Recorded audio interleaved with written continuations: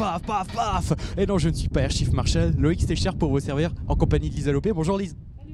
Oh, pour la route des étalons 2014. Bonjour messieurs.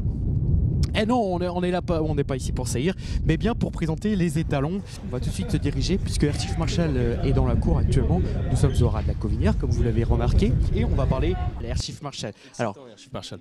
ju- justement, pourquoi Alors 2014, c'est l'année de ses, premiers deux ans, donc c'est toujours une année euh, importante.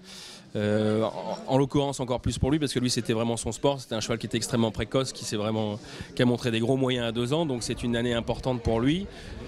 Il a 75 deux ans à l'entraînement en France, il en a quelques-uns en Angleterre et en Irlande, mais 75 en France. Bon, je vais vous dire que les bruits sont bons. Après, la route est longue, euh, mais on a déjà beaucoup de juments réservés. Justement, je pense que bon, il n'y a pas de fumée sans feu. Euh, les entraîneurs en parlent déjà beaucoup. Les éleveurs se renseignent. C'est des chevaux qui ont de la vitesse, qui- ont de la précocité. Euh, après, j'espère qu'ils vont gagner des belles courses également. Et justement, les premiers yearlings, donc l'an dernier, les chevaux qui ont pris deux ans cette année, ont bien été accueillis aussi sur les, sur les lignes de vente. Oui, tout à fait. C'est un top price à 70 000 euros, une moyenne de 30 000 euros aux ventes d'Arcana. Euh, voilà, c'est un cheval qui fait la monte à 3 000 euros. On a essayé de le, tarifer assez justement pour que tout le monde y ait accès. Euh, et puis après, c'est lui qui fera la différence. S'il arrive à bien produire, le, prix de saillie pourra évoluer. Mais pour l'instant, voilà, on, essaye de le rendre accessible aux éleveurs. Oh, il a il était très bon à deux ans, il a un bon pédigré, c'est un beau cheval.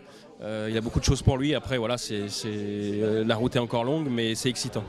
Et lui, en termes de physique, il a, beaucoup évolué depuis qu'il est arrivé ici. Oui, et puis il a un vrai physique de sprinter. C'est un cheval qui est très développé, qui a une très belle arrière-main, une belle épaule. Ce qui revient souvent, c'est voilà, chic, beaucoup de chic, bien dans les aplombs et des bons marcheurs. Euh, comme il était lui, c'est Coolmore qui l'avait acheté 320 000 euros yearling, déjà dans l'esprit de le mettre comme étalon. Euh, donc voilà, euh, maintenant il n'y a plus qu'à attendre, mais c'est excitant.